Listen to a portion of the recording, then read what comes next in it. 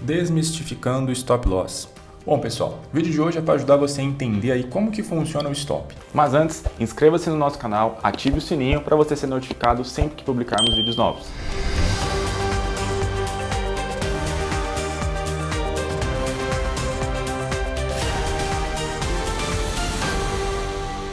Solicite o trade na sua corretora. Eu sou o Eder Santos e você está no canal do Trade. Não se esqueça de deixar as suas dúvidas nos comentários e bora pro vídeo. Eu fiz uma operação aqui, a gente está comprado em um mini contrato, tá bom? Eu vou colocar meu stop aqui embaixo, ó, bem aqui nesse ponto, aqui nos 120.500 pontos, tá? Perfeito.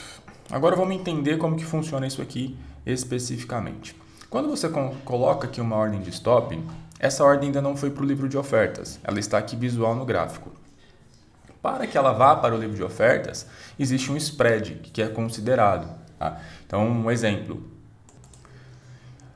Exemplo seguinte: a minha ordem está aqui no 120.500 e existe um spread de 50 pontos, ou seja, até o 120.450 aqui.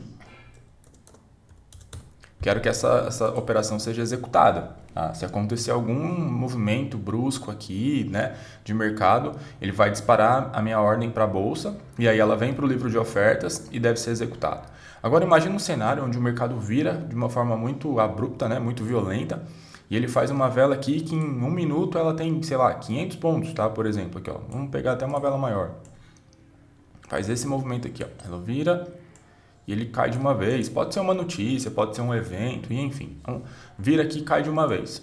Quando isso acontece, vocês vão ver que os contratos no livro de oferta eles vão sumir, vão deixar de aparecer, ou seja, não vai ter gente querendo negociar, porque não sabe o que está acontecendo, né? Esses movimentos brutos assim, mais bruscos, se você analisar até mesmo dentro do nosso replay de mercado, vocês vão ver que o livro de ofertas ele fica vazio. Né?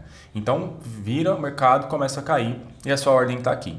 E lembre você, se eu estou comprado, para que eu faça um stop loss, para que eu encerre a minha operação, eu preciso vender.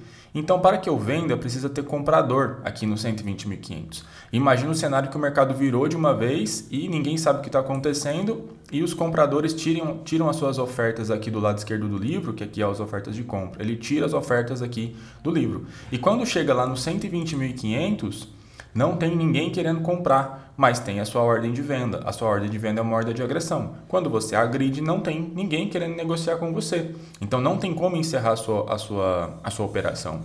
E aí imagina que nos próximos 50 pontos, que é o seu spread, não tem ninguém querendo fazer negócio. Por quê? Porque o mercado ele está errático, ele está muito volátil, ele está é, diferente do, do, do, convencional, do convencional, né? Ele pegou ali uma notícia, um evento que aconteceu que ninguém sabe para onde que vai, então todo mundo tira suas ordens de compra ou de venda e ele vai descer de uma vez. É. E aí imagina um cenário assim, tá? Aqui é mais um, um conteúdo de livro de ofertas. Imagina um cenário onde a gente tem aqui, por exemplo, do desse preço aqui até aqui embaixo, 10 mil contratos, cada um numa posição de compra aqui.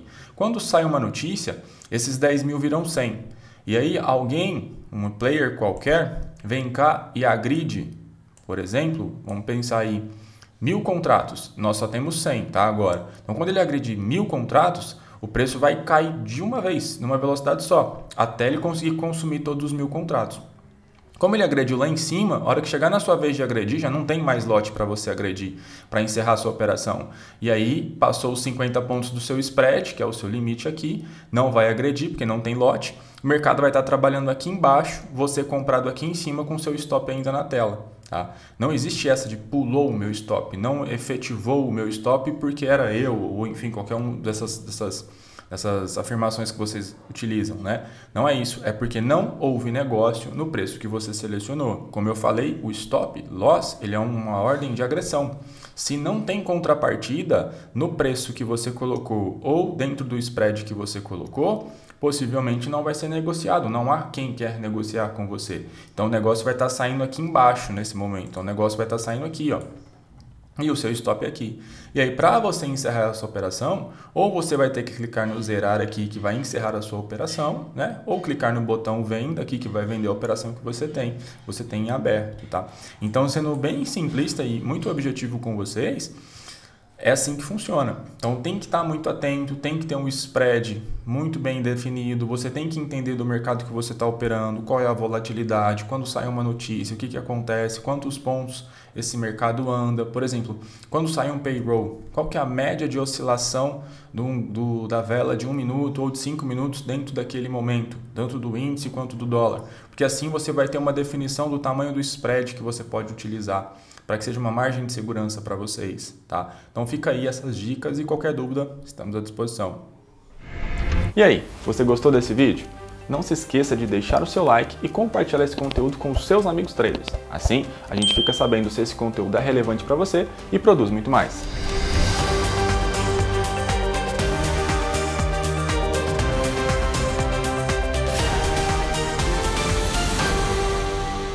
Solicite o trade na sua corretora.